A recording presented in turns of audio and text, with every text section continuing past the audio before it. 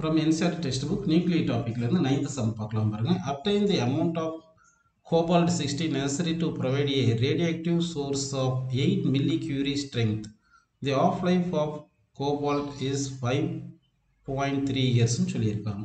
So அப்போ என்னென்ன கொடுத்துருக்காங்கன்னா வந்து நமக்கு வந்து இனிஷியல் ஆக்டிவிட்டி கொடுத்துருக்காங்க. இவ்வளோ ஆக்டிவிட்டி இருக்குது half life period half life period வந்து ஃபைவ் பாயிண்ட் த்ரீ இயர்ஸ்னு சொல்லியிருக்காங்க. Obtain the amount of amount of cobalt necessary to give this much uh, ஆக்டிவிட்டின்னு கேட்டிருக்காங்க. அப்படின்னா மாஸ் ஆஃப் காப்பர் கே கோபால்ட் கேட்டிருக்காங்க. மாஸ் ஆஃப் கோபால்ட் எவ்வளோ வேணும்னு கொஸ்டின் கேட்டிருக்காங்க.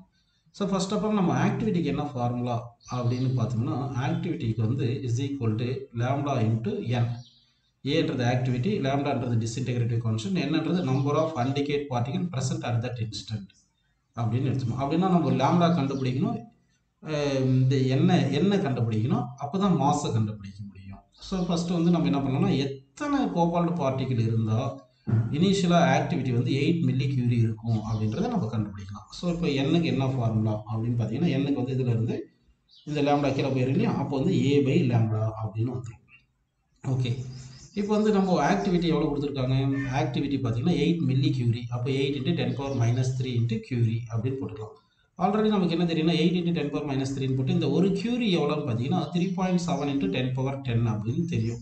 டிஸ்இன்டிகிரேஷன் பர் செகண்ட் அதாவது பெக்யூரல்ன்றது டிஸ்இன்டிகிரேஷன் பர் செகண்ட் இது வந்து ஆக்டிவிட்டி கெயின் தெரிஞ்சிருச்சு. சரிங்களா? சரி ஓகே இப்போ லேம்டா கண்டுபிடிக்கணும். லேம்டாக்கு இது வந்து ஆக்டிவிட்டி தெரிஞ்சிருக்கு. ஏன்னா ஆக்டிவிட்டியும் லேம்டா தெரிஞ்சால் தான் என்ன கண்டுபிடிக்க முடியும்? நம்பர் ஆஃப் கோபால் ரிக்வைட் சரிங்களா? லேம்டாக்கு என்ன ஃபார்முலா பார்த்தீங்கன்னா zero point six nine three divide by T half அப்படின்னு உங்களுக்கு தெரியும். அப்போ லேம்டா இஸ் ஈக்குவல் நம்ம என்ன பண்ணுவோம் zero point six nine three divide by T of T of வந்து என்ன பண்ணோம் ஃபைவ் பாயிண்ட் த்ரீ இயர்ஸ் இயர்ஸை செகண்டில் மாற்றலாம் so five point three into இயரை செகண்டாக மாற்றுறது ஒரு இயர் வந்து த்ரீ சிக்ஸ்டி ஃபைவ் டேஸு ஒரு டேன்றது டுவெண்ட்டி ஃபோர் ஹவர்ஸ் ஒரு ஹவர்ன்றது eighty six thousand four hundred second அப்படின்னு வருது. இதை சிம்பிளை பண்ணோம்னா லேம்டா நமக்கு எவ்வளோ வரும்னா? Four point one four six two into ten power minus nine per செகண்டில் கிடச்சிரும். லேம்டா இப்படி கிடச்சிருக்கு. ஸோ இந்த லேம்டா வேல்யூ கொண்டு போய் இங்கே சப்ஸ்டிட் பண்ணுங்கள் இந்த ஏ வேல்யூ இங்கே சப்ஸ்டிட் பண்ணோம்னா நமக்கு என்ன கிடைக்கணும் number of cobalt particle required to produce eight millicurie strength கிடைக்கும். அப்போ என் வந்து என்ன பண்ணலாம் ஏ வந்து என்ன பண்ணலாம் எயிட் இன்ட்டு இந்த ten power minus three ten power ten சேர்ந்து டென் பவர் செவன் வச்சுங்க. Into three point seven divide by இந்த லேம்டா அப்படியே போடுங்க.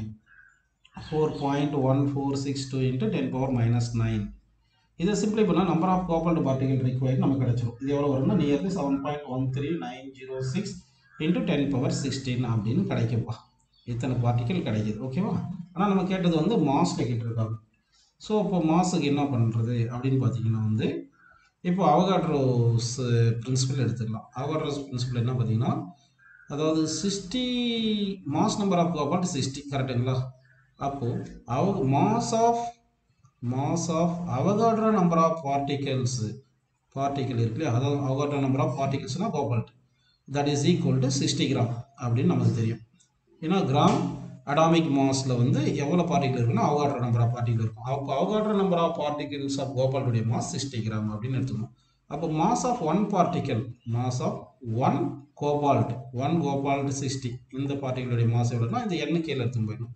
அப்போ sixty gram divide by Avogadro number அப்படின்னு நம்ம இத்தனை பார்ட்டிகளுடைய மாஸ் தானே வேணும்? என் பார்ட்டிகள் அப்போ mass of n particle both side n multiply பண்ணி n particles of cobalt cobalt sixty வேணும்னா அப்போ sixty into N divide by Avogadro number இது எல்லாமே கிராமில் வரும். சரிங்களா? ஏன்னா கிராமில் தான் எழுதியிருக்கும். இப்போ சப்ஸ்டிட் பண்ணுங்கள் சிக்ஸ்டி இன்ட்டு இந்த எண் எவ்வளோ கிடைச்சது நமக்கு? என் வந்து seven point one three nine zero six into ten power sixteen போட்டாச்சு கரெக்ட்டுங்களா divide by Avogadro number Avogadro number என்னது? Six point zero two three into ten power twenty three அப்படின்னு வரும்.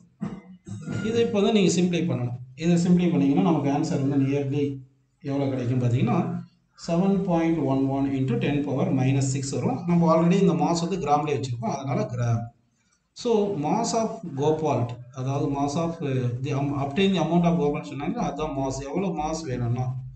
Seven point one one into ten power minus six gram தேவை. இவ்வளோ இருந்தால் தான் நமக்கு என்ன ஆகும் உங்களுக்கு? இவ்வளோ ஸ்ட்ரென்த்து கிடைக்கும். அதாவது எயிட் மில்லி கியூரி ஸ்ட்ரென்த்து கிடைக்கும். அப்படின்னு நம்ம ஆன்சரில் எடுத்துக்கலாம்ப்பா